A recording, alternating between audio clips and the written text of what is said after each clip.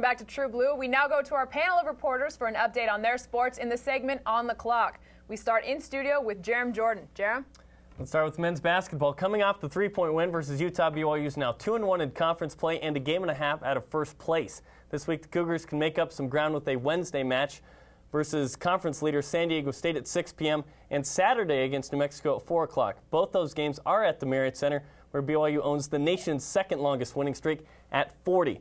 Individually, Lee Cummard and Trent Plaisted are the only teammates in conference to be in the top 10 in both scoring and rebounding. Cummard's also shooting 92% from the free throw line and has hit 19 in a row. For more on men's volleyball, we toss it out to Drew Dowling in the fieldhouse.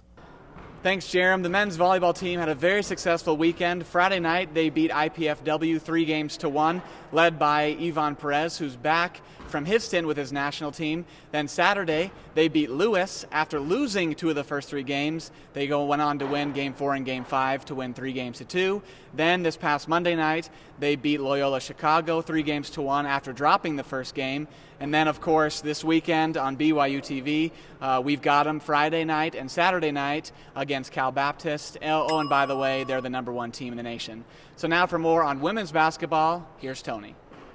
Thanks, Drew. The women's basketball team suffered a heartbreaking loss to Utah last Saturday. More than 6,000 fans showed up to see the game. Utah jumped out to an early 22 to 0 lead. Utah shot 50% from the field and out rebounded the Cougs by six. They now go on the road to take on San Diego State and New Mexico. Remember, we will give you an, a campus wide update each week, so tune in for our on the clock segment.